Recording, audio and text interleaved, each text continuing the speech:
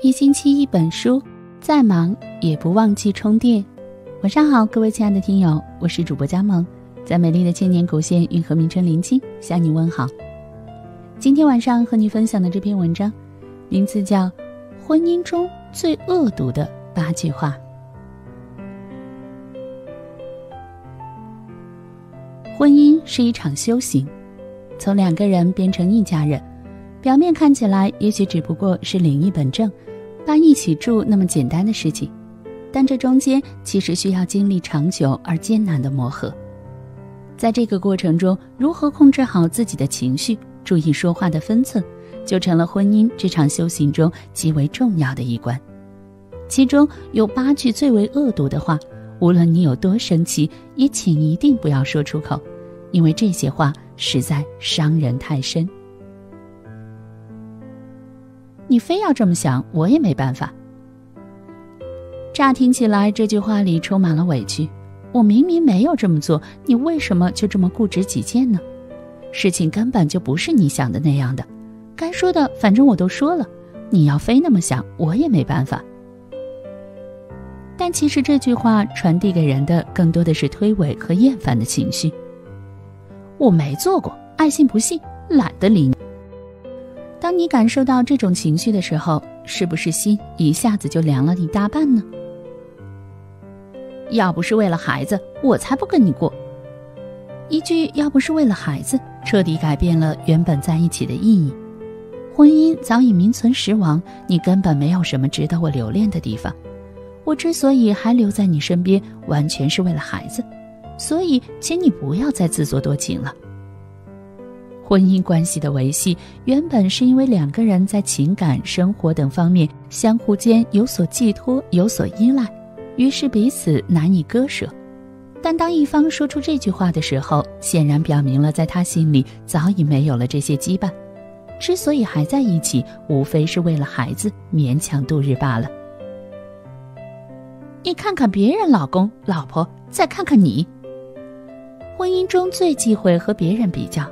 动不动就说看看别人家的谁谁谁，会切切实实给人一种在你眼里我就是什么都不如别人的挫败感。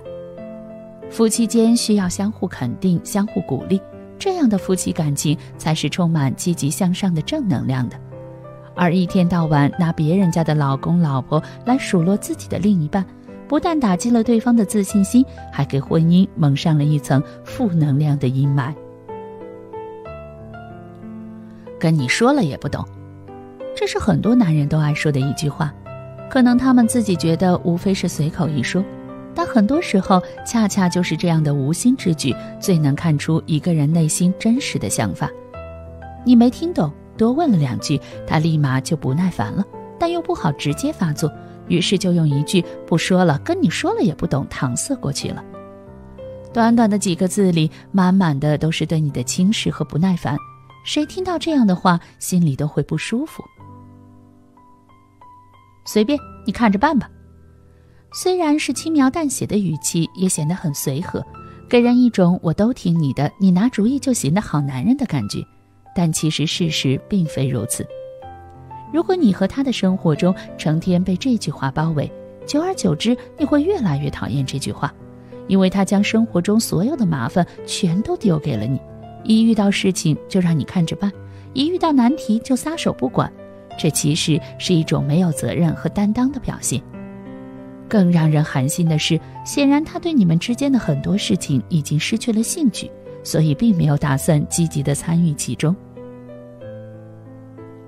我的事儿不用你管。婚姻中，夫妻本该是一对命运共同体，荣辱与共，风雨同舟。幸福快乐，两人一起分享；困难苦痛，大家一起承担。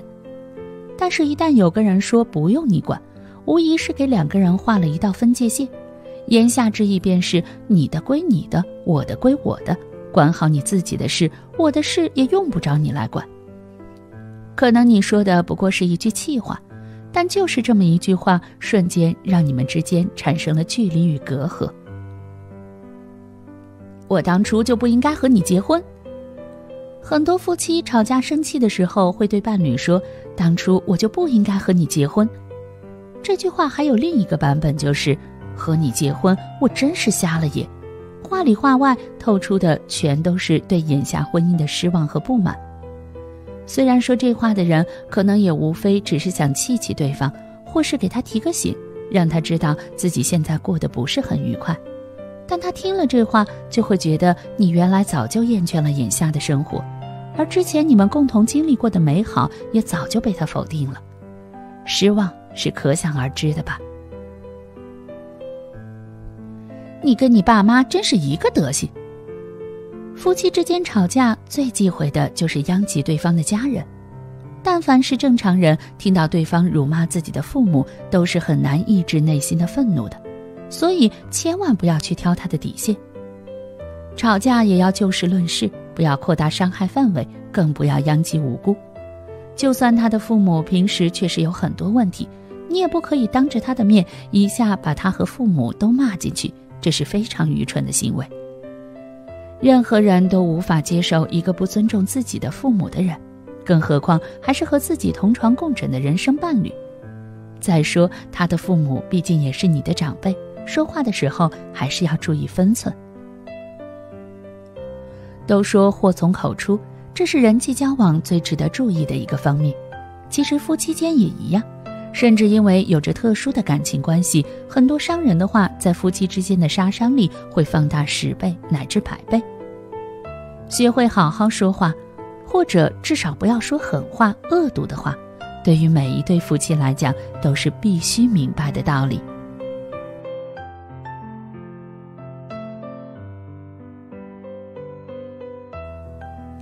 如果你喜欢我的声音，喜欢我们的文章，就请在文末点个赞吧。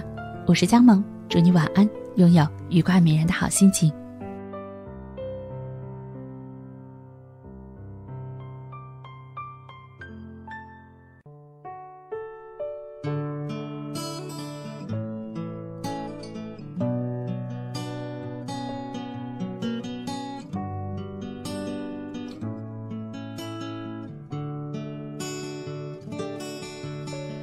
安静的离去，越孤单一起，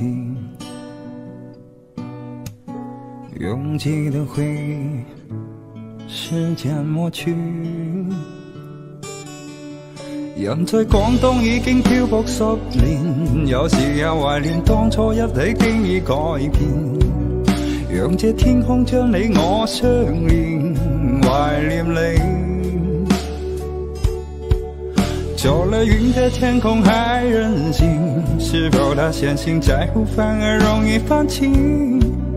非要最后一无所有，才无所畏惧。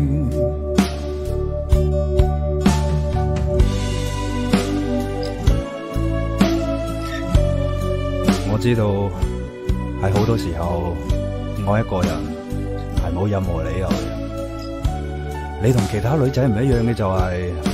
你从来都唔问我中意你啲乜，反而我成日都问你，你究竟中意我啲乜啫？